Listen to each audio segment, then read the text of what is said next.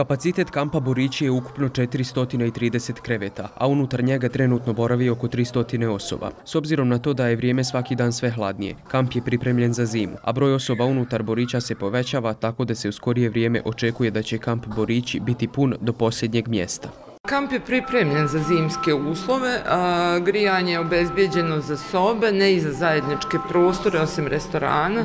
Grijanje je na struju, postojeći elektropriključak je dovoljan da obskrbi cijeli objekat, imamo pomoćni agregat u slučaju pada struje.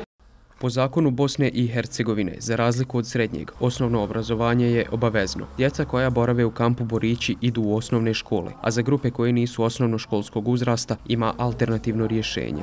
Djeca koja su u centru idu u osnovne škole u Bihaću, dok su nam propuštena ta djeca dobne skupine od 15 do 18 godina. Za njih se mi brinjemo na alternativne načine, pa organizujemo nastavu jezika. Aziz iz Maroka boravi u kampu Borići posljednjih osam mjeseci. Nema nikakvih prigovora. Smatra da je ovaj kamp uslovan za migrante jer imaju obezbjeđeno sve što je potrebno za život dostojan čovjeka. I have uh, food.